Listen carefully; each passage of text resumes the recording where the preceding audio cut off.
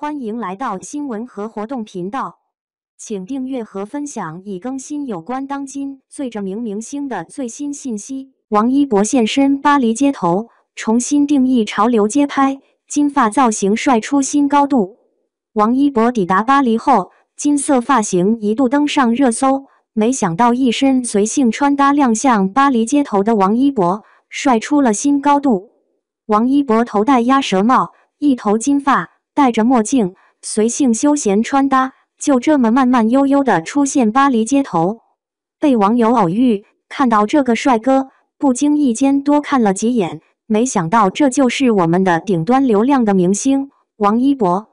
看到这个造型一出来，爱豆装的王一博帅出天际，天花板级别的存在，可以吹爆一下。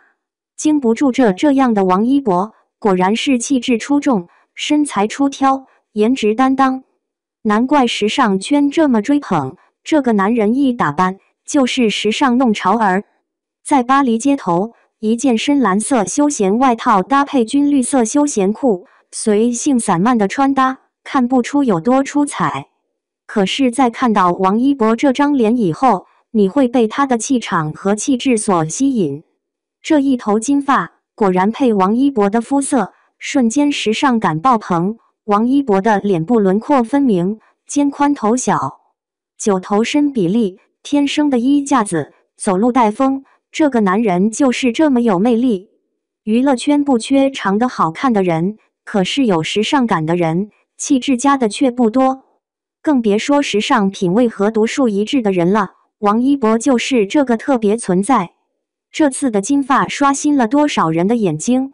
实在无法用语言表达出这份帅气和潮流感。这个男人总会给我们惊喜。网友说，王一博出现在巴黎，整个时尚圈都在颤抖。他的出现就是热度，更是重新定义时尚风向的一个存在。王一博这次的造型，瞬间梦回王甜甜、白牡丹的时候。那个时候的他有些韩范，人也稚嫩。如今九年过去了。现在成熟稳重了不少，可是他的气场更强，个人魅力更吸引人。岁月没有拿走他的素颜，反而更具少年感。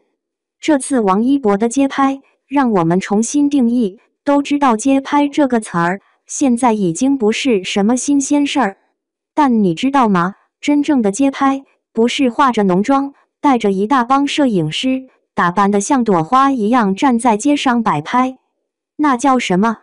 那叫作秀。